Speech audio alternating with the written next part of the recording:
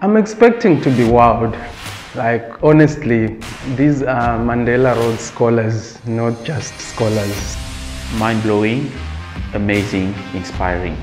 What I've come to realize with Mandela scholars is they can turn ordinary things into serious uh, uh, initiatives.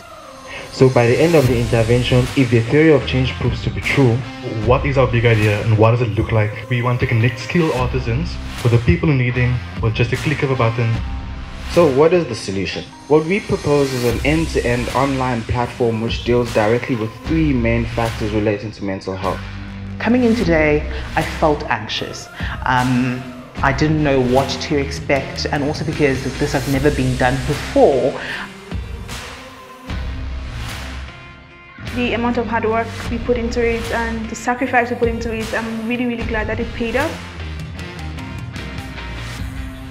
So are you going to take advantage of that? Because right now, I don't feel motivated or moved. What's the call to action?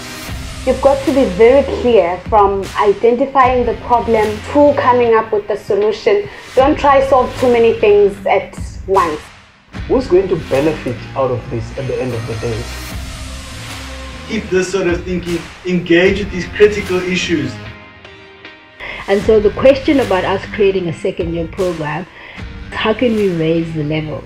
How can we really begin to harness the power presented by Mandela Rhodes Scholars?